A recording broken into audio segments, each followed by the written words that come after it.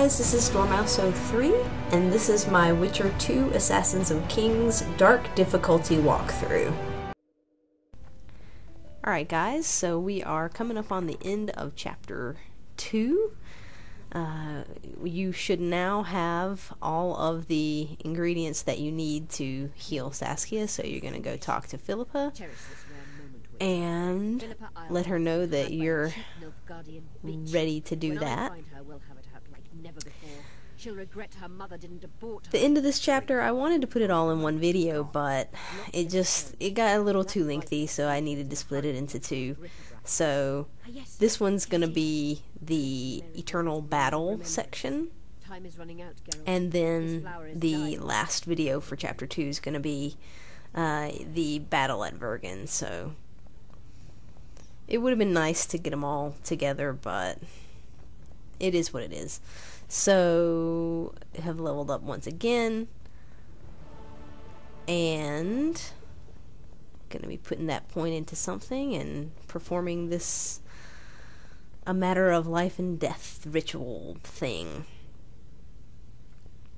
You get this negotiator silver sword. It's not going to be as good as the silver sword that you have. I don't think it's even as good as the blood sword that we had before, so again, just something to sell. Uh, I keep looking around her quarters because I I kept thinking that there might be something there, but th there isn't. There's nothing else there right now. So we're gonna level up.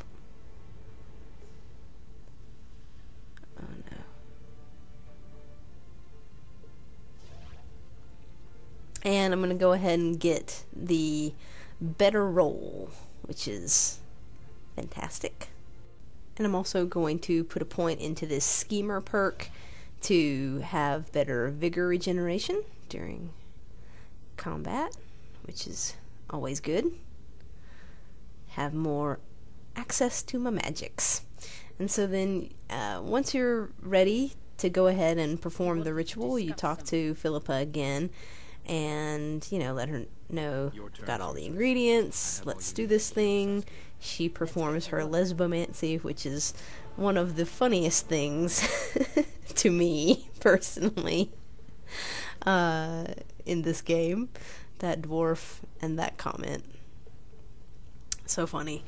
Uh, so anyway saskia is all better now well for the most part. And now we're ready to clear the mists and get this battle going. So once you get done looting her house, because the first thing you need to do when you when you meet someone is go through all their things and take the stuff that you want. That's just, you know, common RPG courtesy.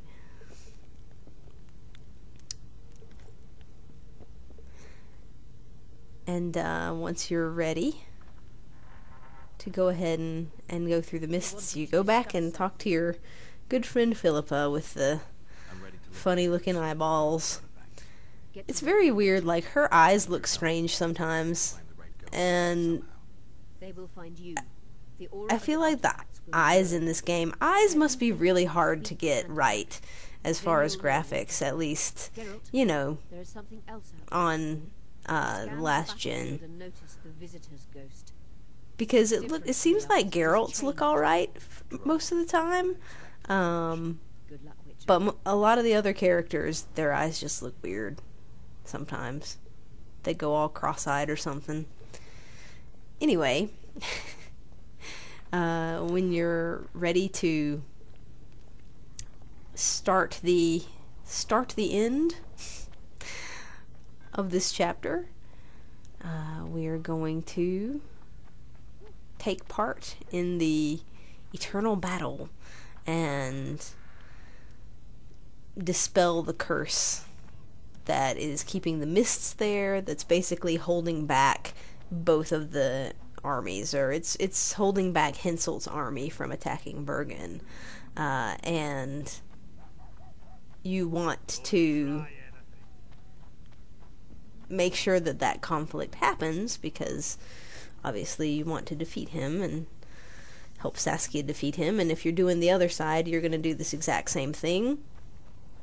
Uh, you know, for the reason that you want to help them conquer Vergen. And so you run on down here to the mists again, the lovely, lovely mists.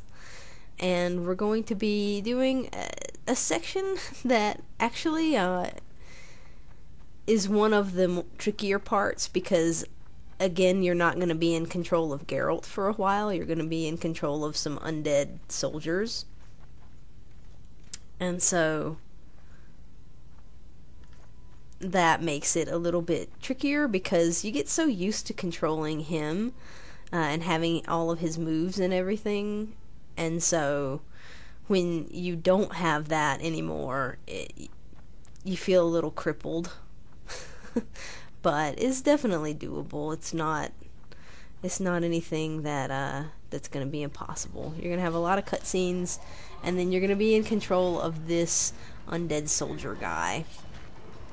And so your goal here is to get rid of this Draugr, but you've got these soldiers to contend with as well. And as you can see, they put some hurting on you. So I'm kind of focusing on taking out the two guys, and then I'm going to focus on the Draugr.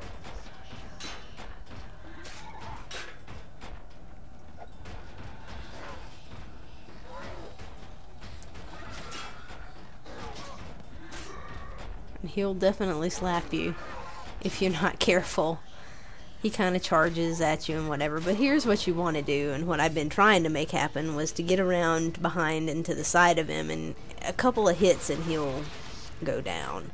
So, you just want to be careful not run into the uh, fire on that section too. But uh, moving on, this next part, uh, you're going to be dodging some arrows. And so what you want to do is wait until the they fire the arrows and then run up to the next piece of cover. And for this one, there's going to be some cover around to the left that's going to be closer to you, and that's the one that you want to run to. And right here, I get myself into a spot because I keep trying to go around to the right of this thing. Uh, but you're supposed to go around to the left of it. And so that's what I'm going to do after this next volley of arrows, but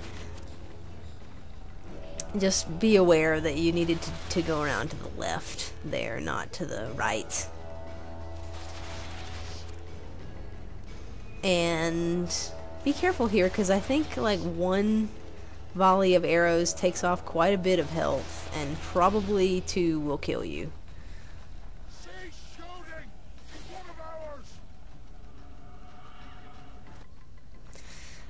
And so then the next section, you're in control of, I believe this is Seltkirk, the commander. And with these guys, you want to do something that you have not seen me do, probably at all in this guide, and that is block the block. Use the block button to sort of get these guys to lower their guard because you don't have any other way really. You, you can't roll you can't use any of your signs that you're used to using, so you just kind of have to block and then come up and try to get an attack in. So when you block, they sort of lower their guard for a second. And you use that to get in some hits. And I think I'm going for the heavy attacks just to kill them a little bit quicker.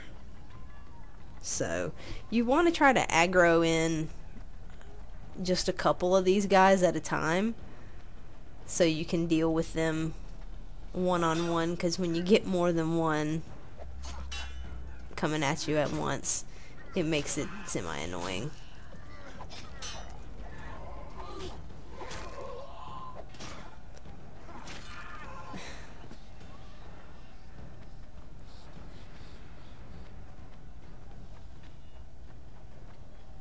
So here come our last two friends. And yeah, I really, the blocking, parrying, riposte system on this game, I'm just not a fan. Because one, you block them and they get stunned for a second, but you can't immediately hit them like I keep trying to do. You have to like run up to them and hit them.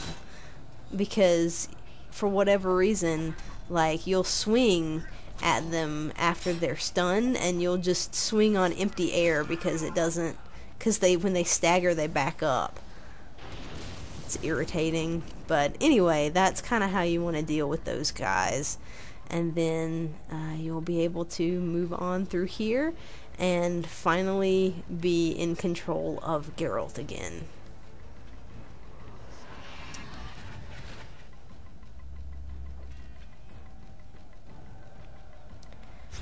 And you know, when when you get to this section, you're like, "Oh, thank goodness." I've long awaited this meeting. Leave, Ghost.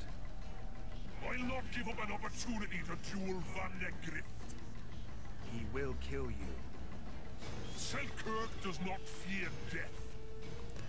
Seltkirk is stupid. Your soldiers will die every day afterwards. because Seltkirk is already dead. Seltkirk has already died.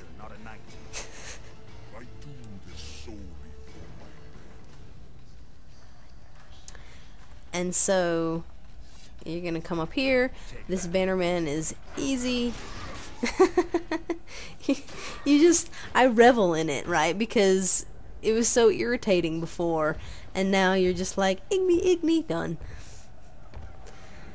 And so as soon as you you know hurt that Bannerman enough, you're gonna have this fight with I guess this is Vandergrift Who are you? and he's huge and intimidating.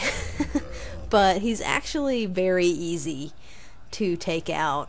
Um, what you're going to want to do is put on Quen just in case you get hit. Um, and then I like to sort of run around this rock right here because it's going to serve as cover from some things. He's going to do this is the most irritating attack because you've got to dodge those stupid things. Um, he'll have that attack. He'll have arrows that he likes to do. Um, but this is how you want to you want to handle him. You want to throw down a trap, and then roll around behind him, get in some hits, and you'll see he's over half dead after one trap. uh, so you really only need to do that probably about two times maybe three depending on how strong your weapon is. Go for heavy attacks. If he calls in the arrows, use this rock as cover. If he calls in the trebuchets, uh, just sort of roll around and make sure that you try to stay out of the path of the things. And now he's going to do his little spinny attack. Just kind of roll away from that this is another reason why it's good to have that upgraded roll because you can actually put some distance between you and the enemies, which is good. Uh, whereas before, you when you rolled away, you just didn't get the distance that you really needed. So, throw down another trap, lure him over to it, roll around behind him, or to the side and he's dead. And that's your achievement, Fat Man, for killing him. You get all the items automatically, and that uh, is almost the end of this section. You're going to have one more little part here where uh, you're going to be doing another one of these run and try to avoid things sections and uh, start moving immediately. Don't wait like I did, or else you'll get smacked by a flaming ball of death. So you sort of run up, use this as cover, and head on into the light. And that is the end of that section, guys. So uh, I will see you in the last part of chapter 2. Thanks for watching.